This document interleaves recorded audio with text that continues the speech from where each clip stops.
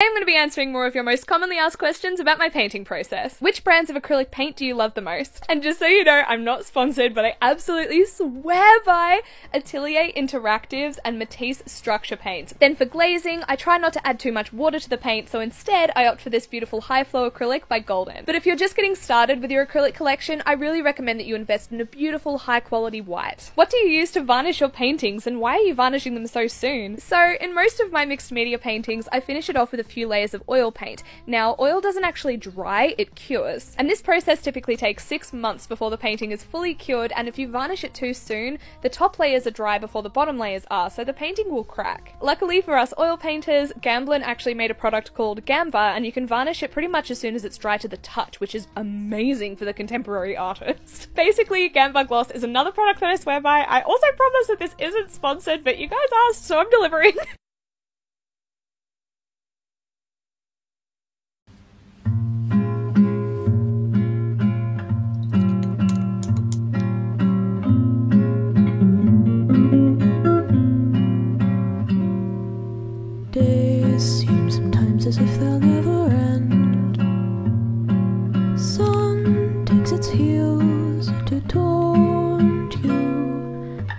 sunlit days, one thing stays the same. Rises the moon.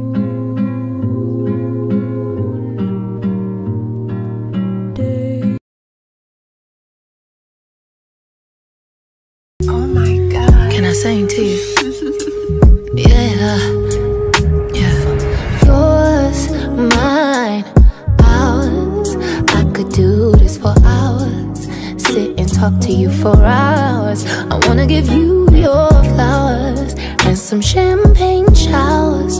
All the shrimp and lobster towers. But it's me that gets devoured. Ooh, when you do what you do, I'm empowered. You give me a superpower. Together the world could be ours. You sit me up on the counter. Instantly it's thunder showers. Storming for a couple hours. When we finish, take a shower. I could do this for hours and hours and hours. I could do this for hours and hours and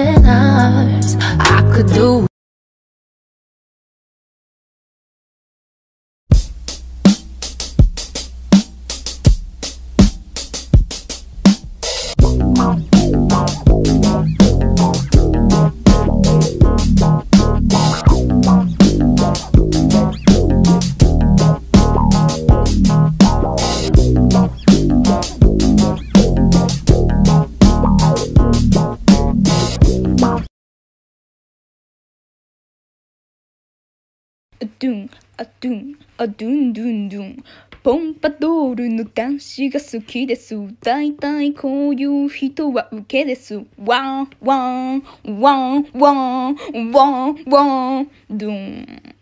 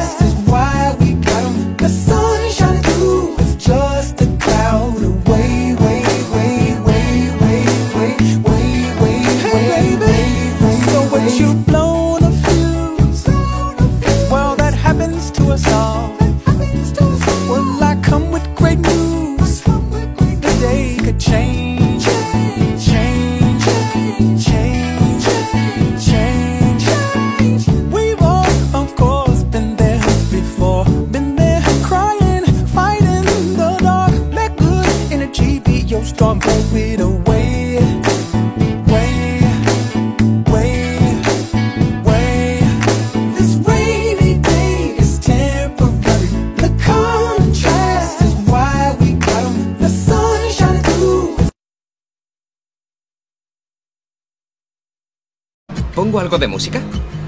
Dime, ¿qué prefieres? Lo que más te guste a ti. En ese caso... Sigo cruzando ríos, andando selvas, amando el sol. Cada día sigo sacando espinas de lo profundo del corazón. En la noche sigo encendiendo sueños para limpiar con el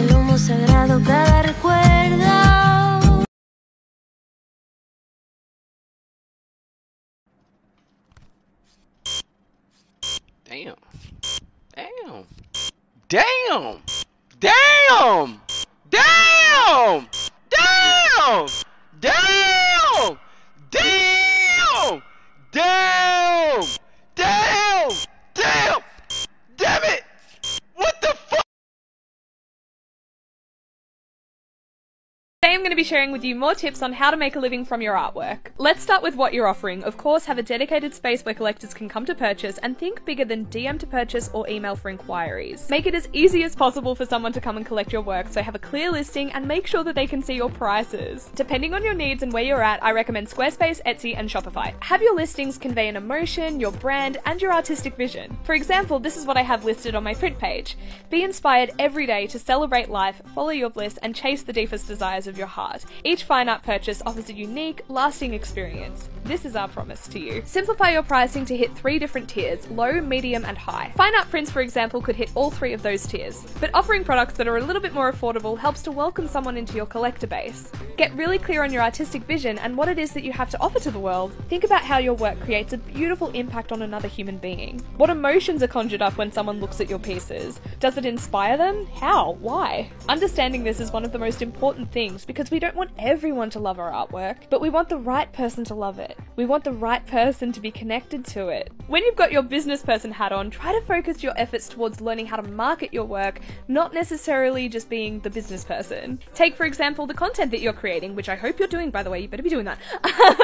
but create content and then find out what sort of pieces work best for your audience. What do people love to see from you the most? That way, you can become a little bit more intentional and your audience can start to expect a certain sort of content from you. Share the process of how you create your artwork. Letting people watch your artistic process unfold is such an incredible thing. Be really authentic and share your perspective with others. Be enthusiastic and share what inspires you and bring your artwork to the world with that exact same excitement and joy. I'm sure you hear this all the time, but focus on community. Community building is so important. It's ridiculously important because without your community, you don't get to do this in the first place. So be humble and share that gratitude, but always find a way to infuse your videos, photography, captions, and offerings with value.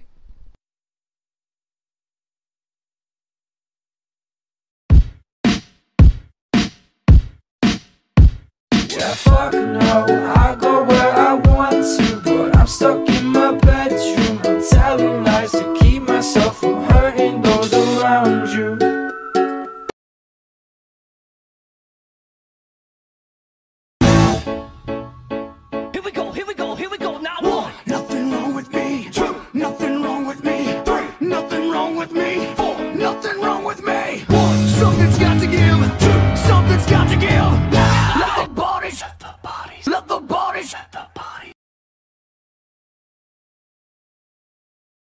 When I work on these sacred geometry stones, they take me a couple of days to paint. And the reason why is first, with this big plumpy dot, I let it dry before I even attempt this first row because these dots are so tiny and I have to try to get my spacing as close to perfect as possible because the whole pattern builds off of those first couple of rows. Then once I get to the sides, I have to wait for all those dots on top to be dry so that I can hold it so I can position the stone to place these dots on the bottom. And then once all the dots are dry, I can go in and add these teeny tiny detail dots.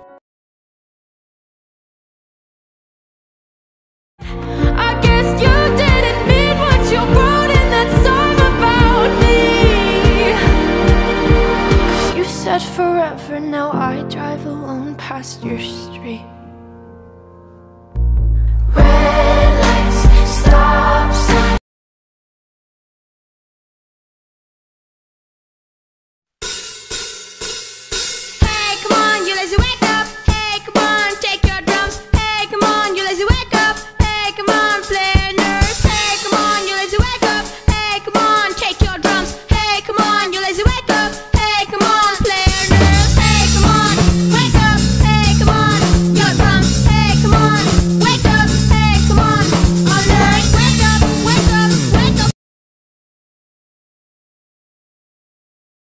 Art Supplies Hall.